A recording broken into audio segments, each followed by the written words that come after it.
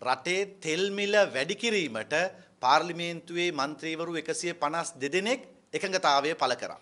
ඒ කියන්නේ පළවෙනියෙන් මේ පොහොට්ටු පක්ෂයේ මේකට විරුද්ධයි පොහොට්ටුව පක්ෂයක් විදියට තෙල් මිල වැඩි කරනවාට විරුද්ධයි කියලා පාරම්බාපු සද්ද දාපු මහලේකම්ලා ඇතුළු සියලු දෙනා අද ඇවිල්ලා ලැජ්ජාවක් නැතුව ඇඳුම් ඇඳගෙන නැතුව වගේ ඇවිල්ලා තෙල් මිල ඉහළ දැමීමටත් තෙල් මිල ඉහළ දාපු ඇමතිවරයාට පක්ෂවත් ඡන්දය ප්‍රකාශ කළා.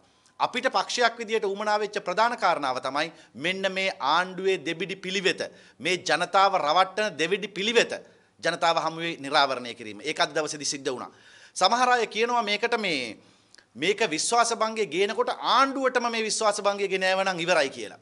ආණ්ඩුවටම විශ්වාස භංගය ගෙනෑවත් මේ ප්‍රතිඵලයම තමයි හම්බ වෙන්නේ. මීට වඩා වෙනස් ප්‍රතිඵලයක් හම්බ වෙන්නේ නැහැ. දේශපාලනය ගොඩක් දන්නවයි කියන අය තමයි කියන්නේ මේ ප්‍රතිඵලය මේ ආණ්ඩුවටම විරුද්ධව ගෙනෑව නම් ඉවරයි කියලා. අපි මේ තනි පුද්ගලයෙකුට විරුද්ධව ගෙනැල්ලා ආණ්ඩුවේ දෙබිඩි පිළිවෙත එළිදරව් කරා. හැබැයි ආණ්ඩුවටම විරුද්ධව ගෙනෑවනම් මුළු ආණ්ඩුවම එකතු වෙලා තමයි මේකට සටන් කරන්නේ. අද අපිට පුළුවන්කම ලැබුණා ආණ්ඩුවේ මේ දෙබිඩි පිළිවෙත පිළිබඳව හරි අවබෝධයක් රටේ ජනතාවට ලබා දෙන්න. ඊට අමතරව අපිට ඩීල් එකක් තියෙනවා ජනතාවත් එක්ක.